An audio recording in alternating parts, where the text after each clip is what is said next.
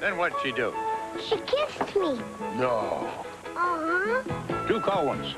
I knew a girl like that once. You did? We're playing this game called Spin the Bottle. And when it stopped, it was pointing right at me.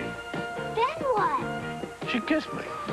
So what'd you do? I married her.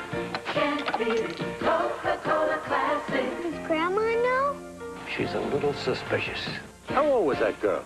Very old. Eight.